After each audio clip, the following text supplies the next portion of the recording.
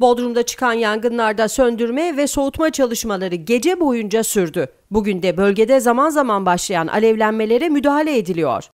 Milas'ın Beyciler mahallesinde başlayıp Bodrum'a da sıçrayan büyük yangın 5. gününe girdi. Muğla, Bodrum ve çevre illerden orman ve itfaiye ekipleri karadan söndürme çalışmalarını sürdürdü.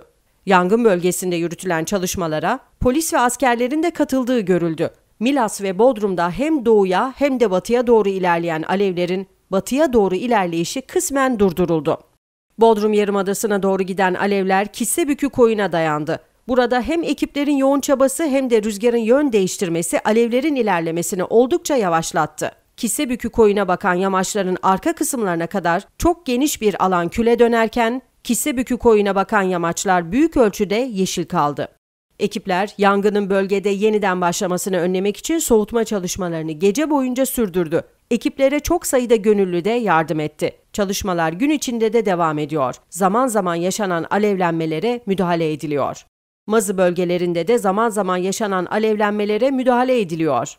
Yeniköy mahallesine doğru ilerleyen alevlerin önünün kesilmesi için iş makineleriyle yol açılarak müdahale edildi. Ayrıca arazözler de bölgede hazır bekliyor. Sağlık ekipleri yangın söndürme çalışmaları esnasında fenalaşan ve hafif şekilde yaralananlara hızlı şekilde müdahale ediyor.